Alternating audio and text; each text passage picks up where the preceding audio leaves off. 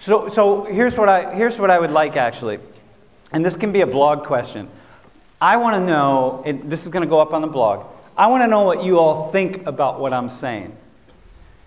About not fighting it. Just learn Spanish. You're not going to keep people out of the country. You are not going to stop people from speaking Spanish.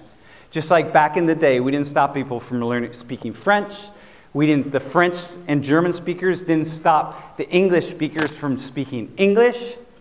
English ultimately won, and now we speak English as our dominant language.